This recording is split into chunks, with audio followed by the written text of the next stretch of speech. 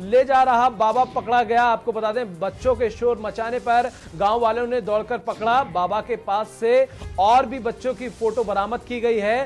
खैराबाद थाना क्षेत्र के महमूदपुर का यह पूरा मामला। तो बच्चों को ले जा रहा बाबा पकड़ा गया।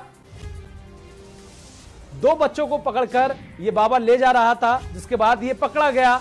बच्चों के शोर मचाने पर गाँव वालों ने दौड़कर इसे पकड़ा।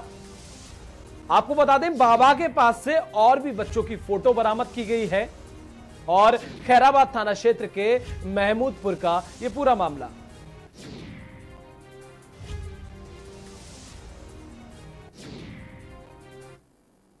और अगली